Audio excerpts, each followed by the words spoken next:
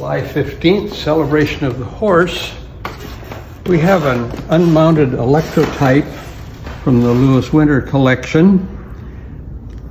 And I haven't seen this in print, but it looks like a rather handsome animal.